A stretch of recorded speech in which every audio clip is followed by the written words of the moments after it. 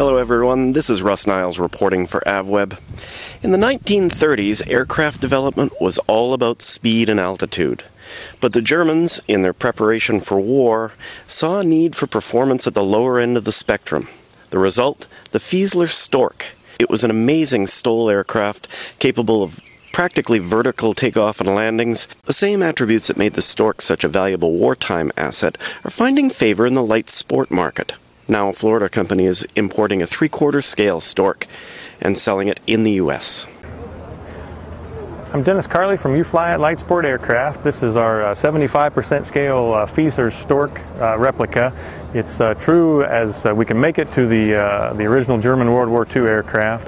Um, available in SLSA ready to fly, ELSA kit, and 51% amateur built experimental kit point out a couple things on the airplane. It's a, phenomenal STOL airplane because of a few features. One is uh, 40 degrees of flaps, where the ailerons extend down with the flaps when the flaps are extended.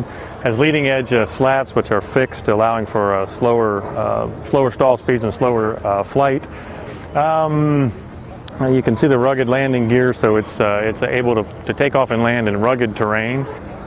Rotax 912S powered, 100 horsepower. Uh, in, in, the amateur built experimental category, it can be built and flown with as uh, high of an engine as a Lycoming 0320 and uh, can be flown as up to 1,600 pounds in the uh, amateur built experimental category. Takeoff, uh, takeoff and landing uh, performance is probably the biggest feature, the biggest selling point of the, of the Storch.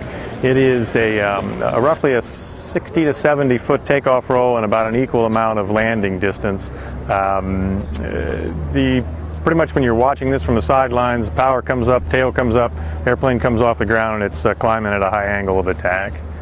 Been in production for about four years. The component uh, parts for the airframe are manufactured in Colombia and shipped here to our facility in Florida, where finally uh, assembly is done and uh, certification is, uh, is achieved. There are uh, 16 of them flying currently with uh, engines ranging from the Rotax 912S up to the Lycoming 0320. Uh, ready to fly SLSA with the uh, uh, Rotax 912S standard uh, analog panel and two blade fixed pitch prop like you see it here behind you is uh, 88,000 ready to fly.